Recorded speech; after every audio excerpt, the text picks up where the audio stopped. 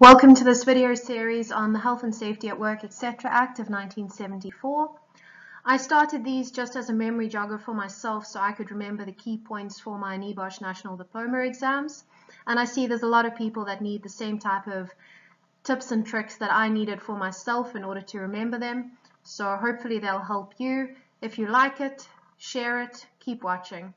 Hope you enjoy the videos. So section two is probably the most important bits and pieces that you can remember for the health and safety legislation within the UK because a lot of your Unit A exam stems from this. And you need to get a full understanding as well of exactly what each section means and be able to apply it to the exam questions. So we'll start with 2.1. It shall be the duty of every employer to ensure so far as is reasonably practicable the health, safety and welfare of his employees.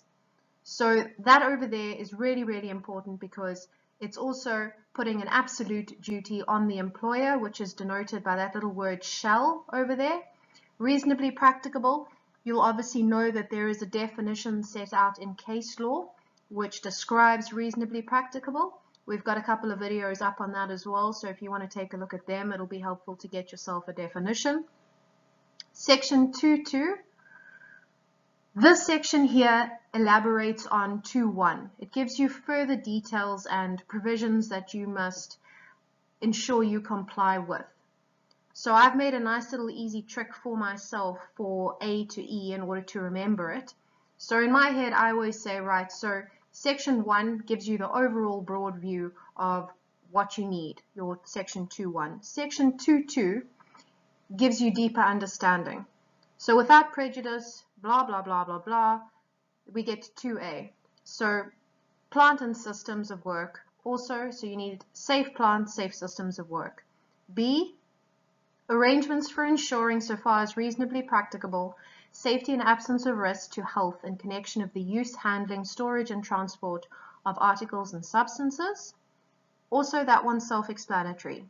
Provision of information, instruction, training, supervision as necessary. Again, there's the words reasonably practicable. D, reasonably practicable. Two, the maintenance and condition of entries and exits. So D, we're going to be looking at doors.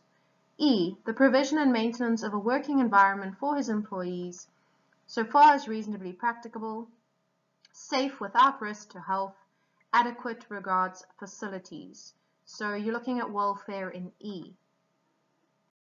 So what I did for myself was make up a little bit of phrasing over here. So PS, as in you write a letter and PS, there's more to follow. So plant and systems.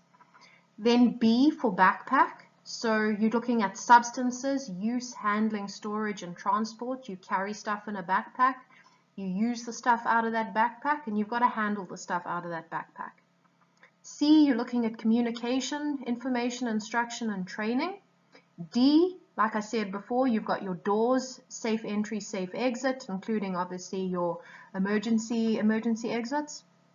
And E is your environment. So when you're thinking about environment, you're thinking about your welfare issues, your facilities, and ensuring that your general environment is suitable for the employees.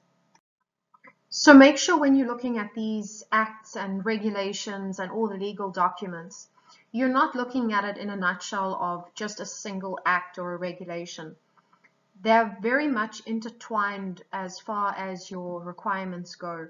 So if you have a look back to your uh, section 22B, again, thinking about your backpack, speaking about the carriage and transport of uh, substances, you're, you're already looking at the control of substances hazardous to health regulations.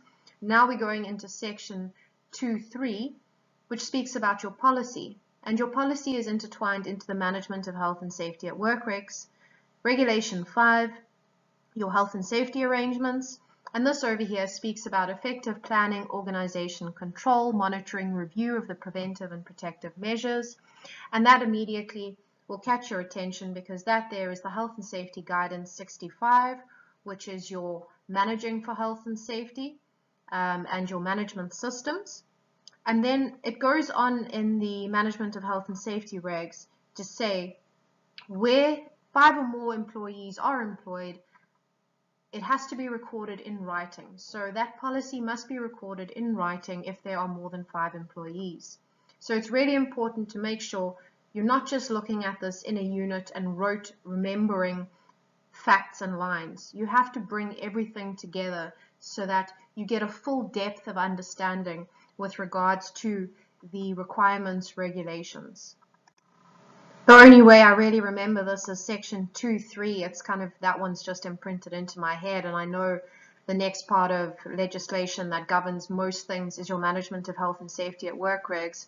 And in order to remember its, its regulation 5.1 and 5.2, I think, well, I have five fingers. So if I've got five fingers, I want to keep five fingers. And the only way I'm going to keep them is if I actually plan for that with a policy.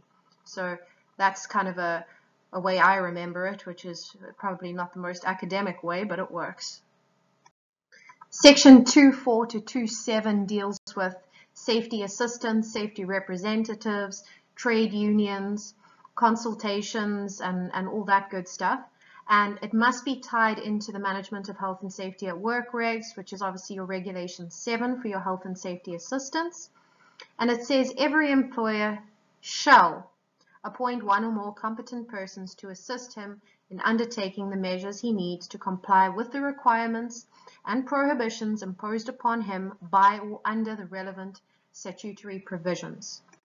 So again, it's just really important to tie the two together and make sure you are looking at everything as an intertwined group rather than the Health and Safety at Work Act on one side and your Management of Health and Safety at Work regs on the other side you need to be joining them together so that when that question comes up in the exam saying what's required of you when, when is safety assistance required, how does it all work, you've got a clear understanding of which sections of which legislation impose what on who. So that's section two done and covered. That's as easy as it gets, short and sweet and hopefully painless.